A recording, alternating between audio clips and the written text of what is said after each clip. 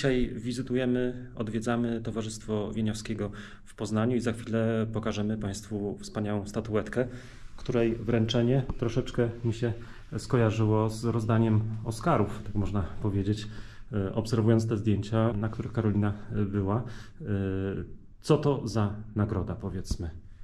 E, jest to nagroda Koryfeusz Muzyki Polskiej w mm, dziedzinie Wydarzenie Roku. Jest to nagroda ustanowiona w 2011 roku, e, której e, inicjatorem był Instytut Muzyki i Tańca, obecnie Narodowy Instytut Muzyki i Tańca a tak naprawdę wręczana jest przez całe środowisko muzyczne, ponieważ na nagrodzonych w trzech kategoriach głosują e, elektorzy. Głosuje kolegium elektorów złożone z osób e, reprezentacyjnych, e, reprezentatywnych dla środowiska, również nagrodzeni, rektorzy uczelni, przedstawiciele instytucji muzycznych. Także tym bardziej ta nagroda cieszy, ponieważ jest nagrodą od przyjaciół. Ten sukces po, te, te, te zdjęcia, te pierwsze chwile z tym Korofeuszem, czy, czy, czy mm, czułyście Panie, że to jest taki sukces jak właśnie gdzieś tam na e, Oscarach, oczywiście w innej dziedzinie, prawda? Tam film, tutaj e, muzyka poważna. Ja uważam, że to nawet bardziej cen, cenna nagroda niż, niż Oscar. I tak naprawdę mm, ja też myślę, że jakby dla Towarzystwa Muzycznego imienia Henryka Wieniawskiego w sumie już druga, ponieważ ten Koryfeusz, starszy brat tego, tego tutaj młodego, czyli nagroda, którą ja dostałam w zeszłym roku za, w kategorii osobowość muzyczna, to nagroda, która też bezpośrednio związana była z odbywającym się w zeszłym roku konkursem skrzypcowym imienia Henryka Wieniawskiego. To moment, gdzie rzeczywiście o Wieniawskim było bardzo głośno.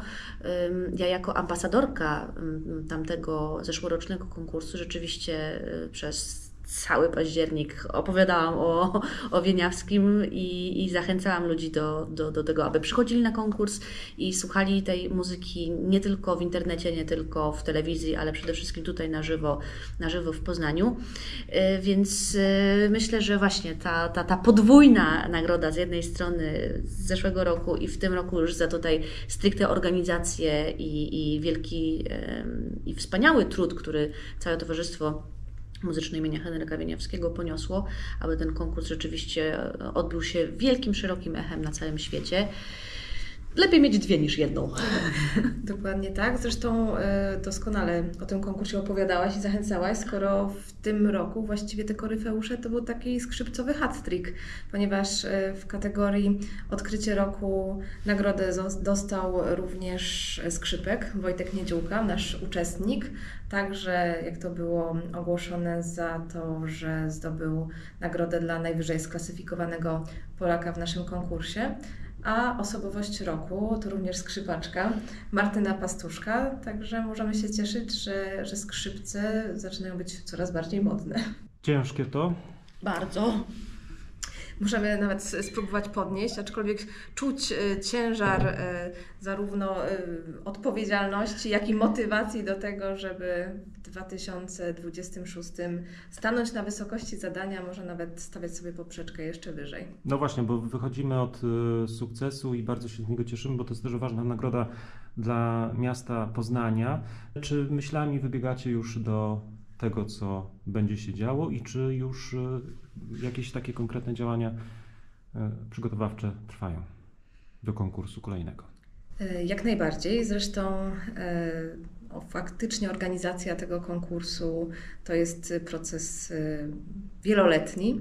Możemy zdradzić, że rezerwację auli Uniwersytetu imienia Adama Mickiewicza nawet robiliśmy przed poprzednią edycją, także proszę sobie wyobrazić, jak e, dalekosiężne to są plany.